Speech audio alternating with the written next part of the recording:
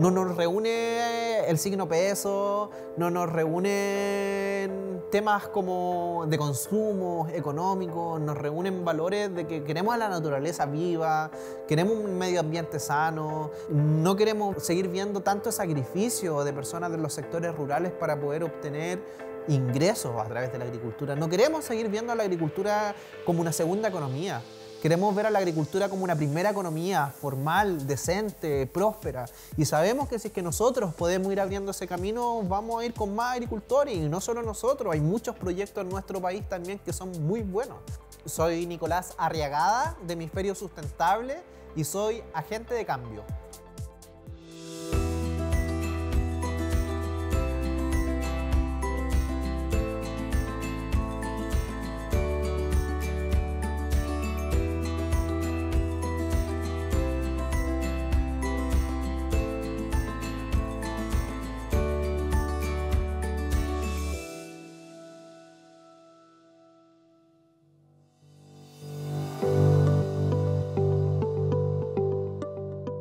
Que con mi abuela recolectábamos muchos eh, mora, mosqueta, murta, cosas del bosque pero la verdad es que no había tanto amor por la agricultura hasta que me di cuenta que había toda una tendencia de desarrollo hacia lo más orgánico, hacia lo más ecológico, hacia lo más sostenible.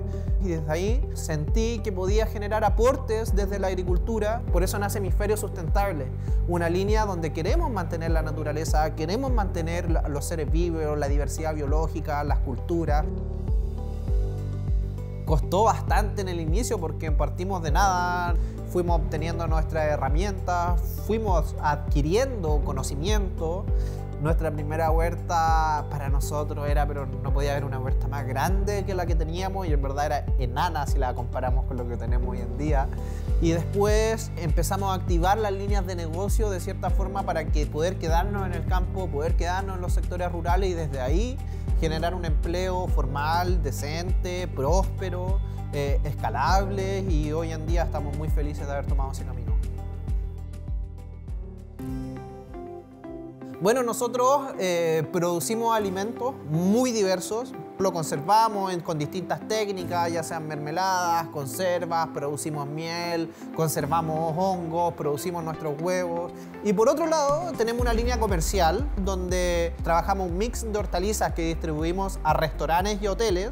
Todo el descarte que nos genera ese modelo de negocio, incluimos una línea de negocio que es el paté de hortalizas, recuperamos toda esa hoja y a través de técnicas gastronómicas y tecnología logramos desarrollar un paté alto en vitamina, libre de sellos negativos. Bueno, y también estamos desarrollando cápsulas de hortalizas eh, como complemento alimentario. Entonces nosotros buscamos facilitar el consumo de las verduras en las personas, resolviendo el problema de la pérdida de los alimentos. Bueno, nosotros hemos postulado en INDAP a proyectos de obtención de resolución sanitaria y eh, también nos ha facilitado créditos, eh, los cuales hemos invertido en temas de riego, en tecnología, con invernaderos y ese tipo de cosas. Y hoy estamos siendo usuarios eh, que está muy en la línea con el plan nacional que tiene INDAP en este momento, que tiene que ver con jóvenes, que tiene que ver con agroecología y que tiene que ver con recuperación de alimentos. Y también a través de empresas y otros participamos en licitaciones para hacer capacitaciones a usuarios dentro de la región, principalmente para mostrarles nuestro modelo de negocio y cómo nosotros a través de la hortaliza hemos podido generar mayor valor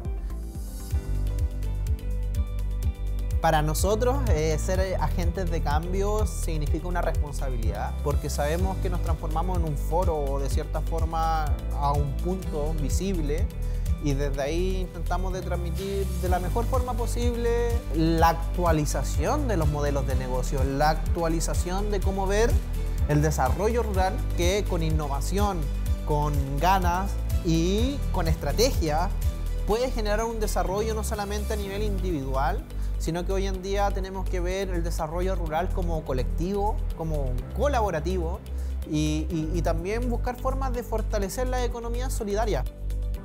Le digo a los jóvenes que perseveren, que confíes en que van a llegar apoyos, van a llegar ayudas, que los buenos resultados no se obtienen de un día para otro. Los buenos resultados se obtienen perseverando, generando hábitos en lo que uno está haciendo y también en, en ser autodidacta. Hoy en día tenemos la información liberada. Hoy quien quiere lo puede hacer.